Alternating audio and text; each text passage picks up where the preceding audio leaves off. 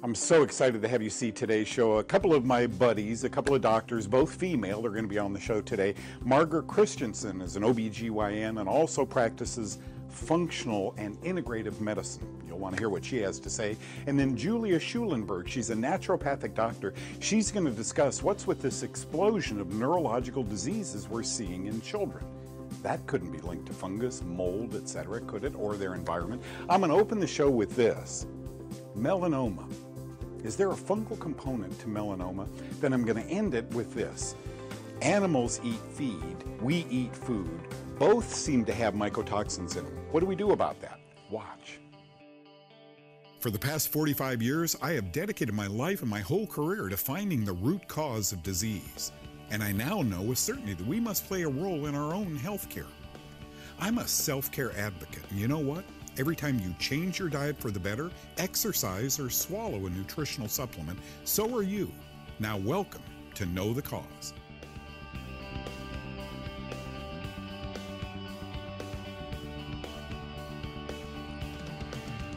Okay, friends, we need to talk a little bit about something that over 100,000 adults are diagnosed in a doctor's office in the U.S. alone with melanoma.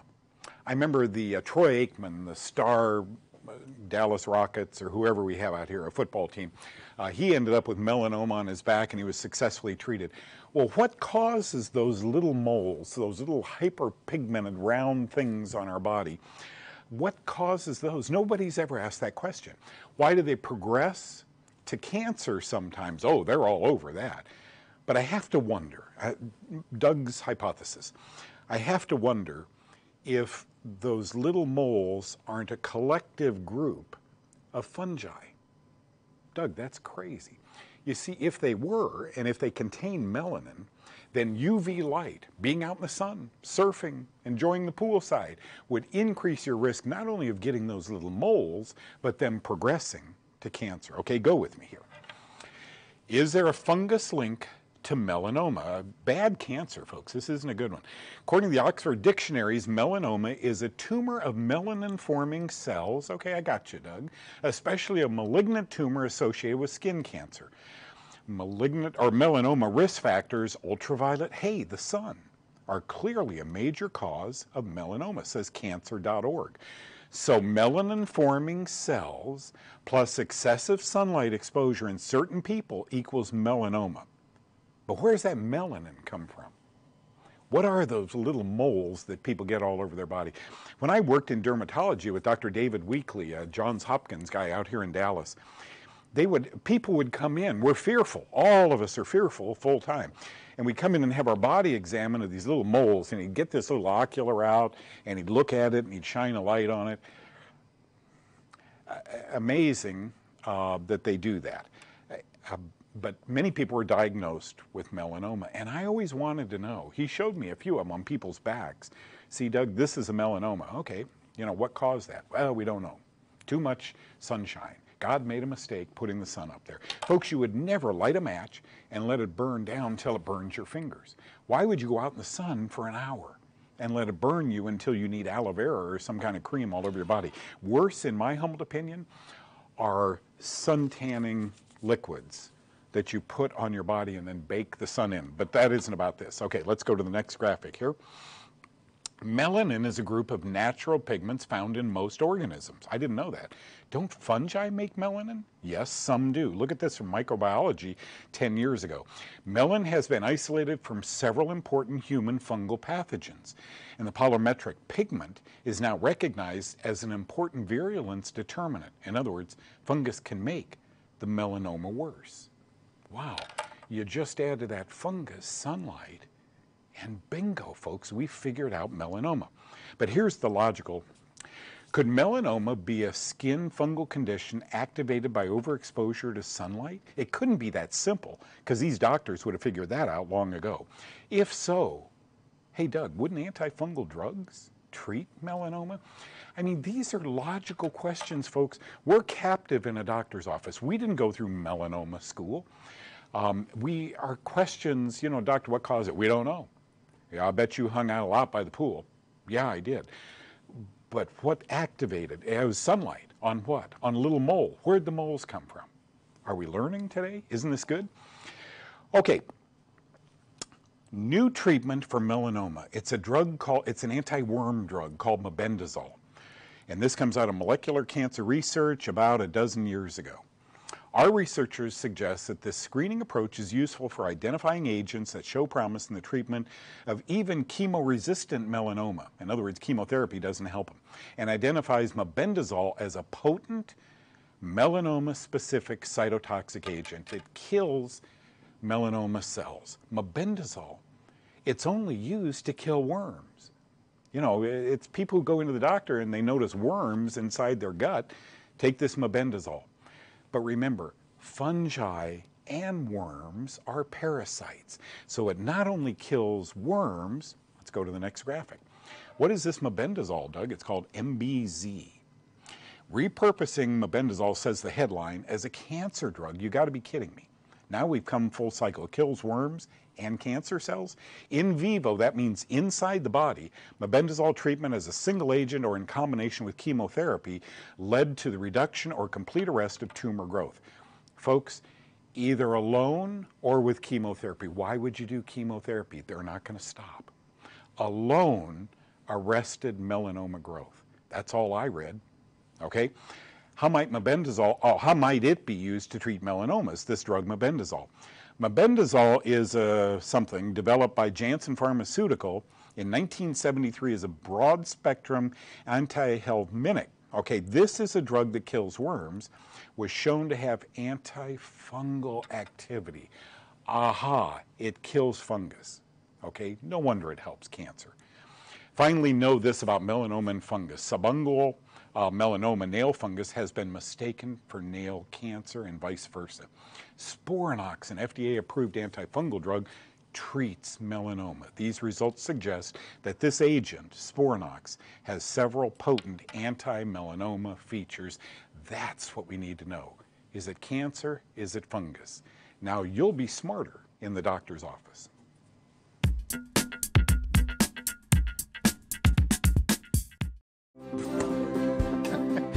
Oh my gosh, we're having too much fun, right? Sidebar. Okay. Uh, Dr. Margaret Christensen is here with me right now. She's an integrative medicine specialist. OBGYN was her primary specialist. And then she got sick. And all the king's horses and all the king's men couldn't put her back together. I've always said, folks, there's no better physician than one who has had to walk down this track where their medications, anti-inflammatories, antidepressants, couldn't get them better because they were living in a sick building. People get sick, and often it's because buildings are sick. Absolutely. Welcome to the show. Thank that, you so much, Doug, for having me again. It's that's a hard pleasure. story to hear. Every time you and it I is. talk, I it hear is. that on some of these seminars, mm -hmm. and mm-hmm. it breaks my heart. But really, it's really God opening your eyes. well, saying, okay. you know, I, I, have to, you know, I, I, do have to believe that uh, really God was working through me, and that you know, my I got sick, my whole family got sick, and I couldn't figure out what was wrong. It actually took eight years because we're not trained conventionally right. to understand that all the chronic disease we're seeing, Doug, in this country is really uh, uh, there's environmental and stress. I mean, you put those those two things together. Our food supply, our water supply, our air quality is uh, just it's just just going down the drains. And but the good news is, Doug, you know, as you know, our bodies can heal themselves, and that's I, that's what got me on this journey. Got me into functional medicine. I teach nationally for the Institute of Functional Medicine, so I've been an educator for a long time, as well as working with my own clients. But uh, it was, you know, I had severe chronic fatigue, fibromyalgia. I had to close my practice. I had a very successful OB mm. practice because I couldn't think anymore. And I was, you know, my body was hurting. And I was told, oh, here, take your antidepressants. You know, here's your pain medicine. Go see a physical therapist. Can I ask yeah. you, Dr. Christensen, what was the point at which you said, okay, there's something in our home?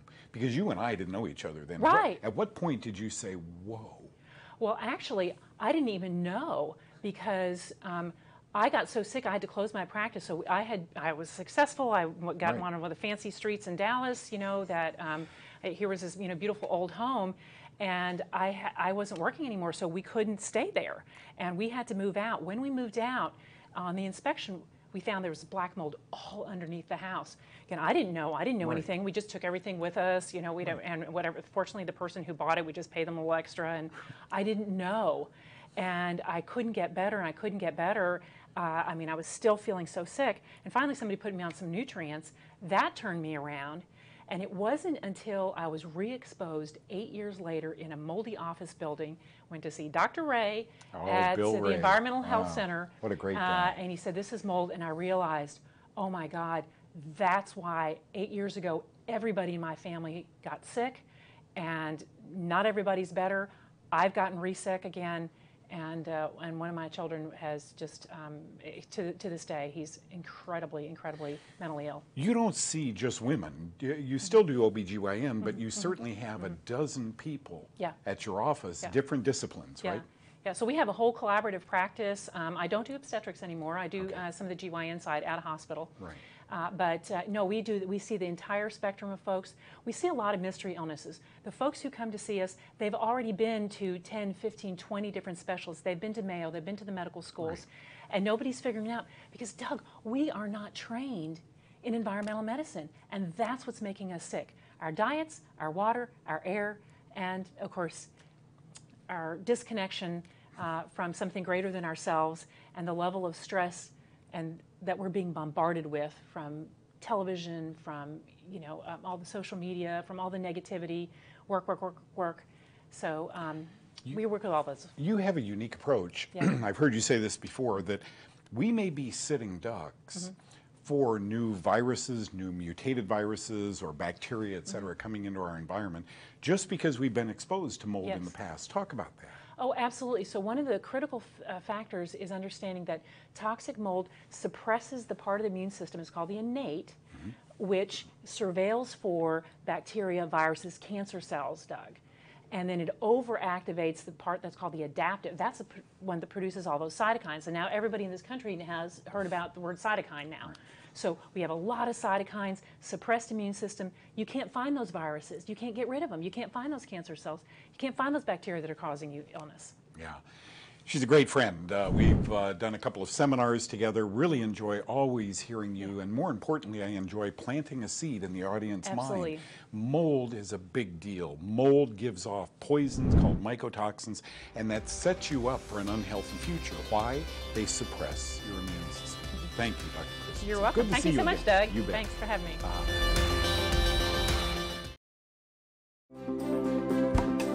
Dr. Julia Schulenberg, a buddy of ours, uh, is here today. She's out near the airport, uh, DFW Airport.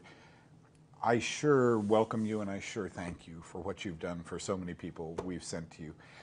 Uh, my wife and I get uh, nice texts and letters from people that we thought Dr. J uh, could help.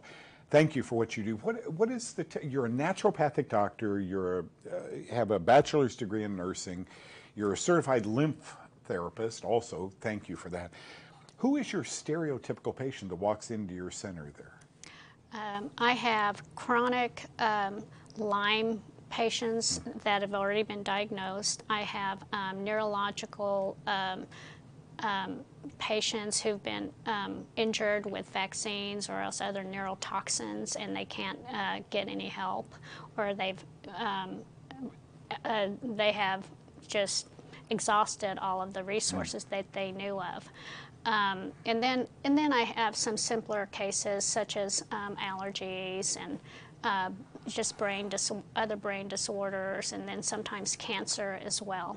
You, But uh, I get a lot of people with fungal overload and parasitical infection uh, overload And as I well. bet back when you were a nurse for 16 or 18 years, you didn't see a lot of that. Today, you know, you have to wonder about the HVAC uh, systems. And my concern is not vaccines per se. I like the idea of launching an immune response to an antigen, making an antibody to it for protection. My question is some of the adjuvants that they're putting in. And I know they're putting these in uh, to help the immune system defend itself better uh, and launch a better antibody response. But you're right, there are things, uh, mercury, there are things that kids today, do you see children? Well, the, uh, yes, I do. I see a growing number of pediatrics, and um, they've had neurological symptoms, maybe because of an, um, a vaccine. I'm going to call it some vaccine injury because of the mercury, the aluminum, some of the uh, overload of the uh, other viruses that were in the vaccines, and their immune systems could not handle it. Uh, so there, there's an inflammatory response that occurs, and then some of these. Uh, children who have higher testosterone levels and who also have um, maybe some genetic SNPs, they mm. uh, they don't respond as well to the vaccines, and uh, but then the uh, general population uh, don't know that or they don't realize that.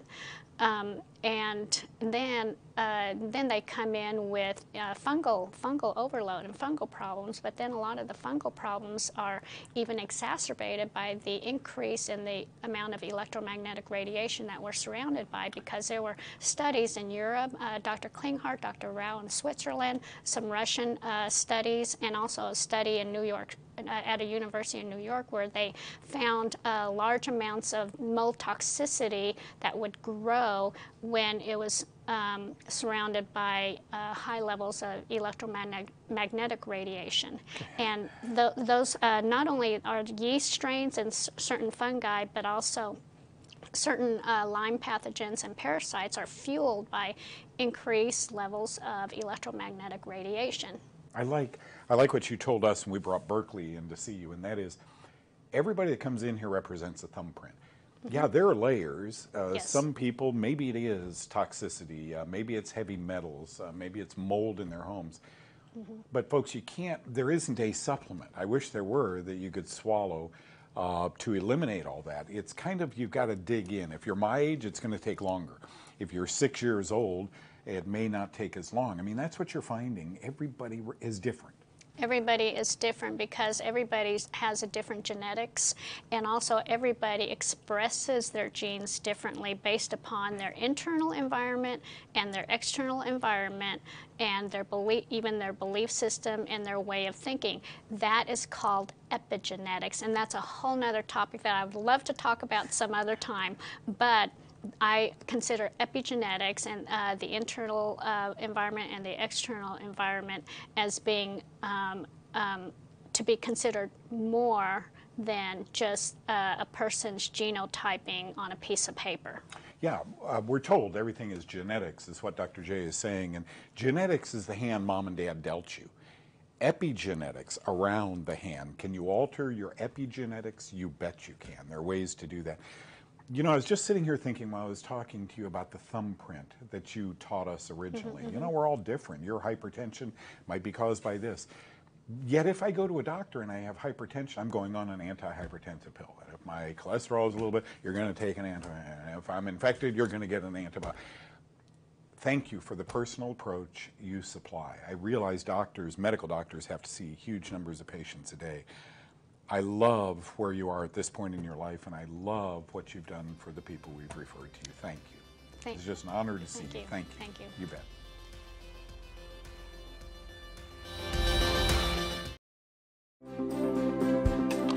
Okay, we want to talk about mycotoxins in our animal food and in our food. Why? Because mycotoxins can cause serious disease, one of which is cancer. And our doctors today think, well, the exposure isn't that great. I'm here to teach you. I'm not here to make a decision for you or your doctor. A knowledgeable person sitting in that exam room is a good person. If you can understand the doctors don't understand what these mycotoxins are or where we come in contact with them, then you'll have kind of a leg up on what he or she may say about your diagnosis. Understand this as we enter this. Feed is what cows and pigs and chickens eat. Food is what we humans eat. Now, that's a good jumping off point. Let's go here now. When animal feed is grain, mycotoxins are common. The co-occurrence, that means one mycotoxin or more, of mycotoxins is very common in animal food, okay? Mycotoxins are poisons made by about 300 species of fungi. This article on allaboutfeed.net, it's a great website. This article points to how common it is in farms to have several mycotoxins in up to 60% of animal feed.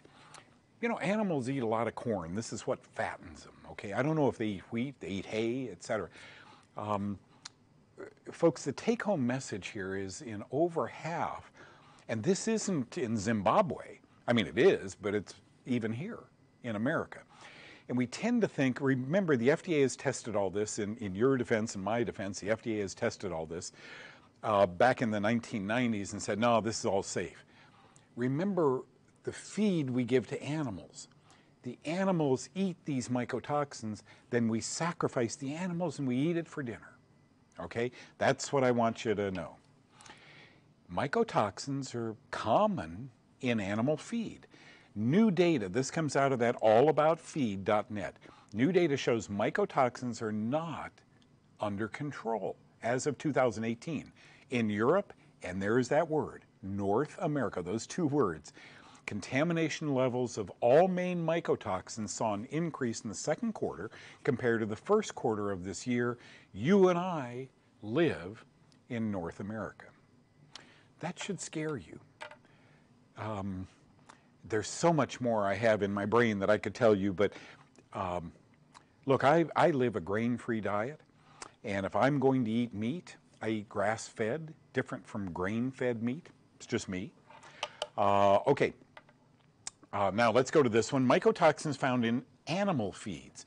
Most commonly, vomitoxin, zearalenone, fumonisin, T2 toxin, ochratoxin, and aflatoxin. Big words, I'm sorry to stick you with all of that.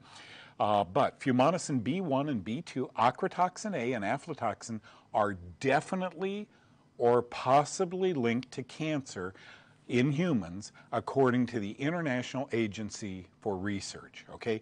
Then the journal Carcinogenesis 10 years ago said this these are proven animal carcinogens that are common contaminants of dietary staple in the food for millions of people. You and I fall into that millions of people again. It, it strikes me as just amazing that our medical communities don't know this. Feed mycotoxin in America in 2019, all about feed.com, states fumonisin and deoxynivalenol are highly prevalent in North and Central America. Both regions are rated to be extreme risk of mycotoxin threat to livestock.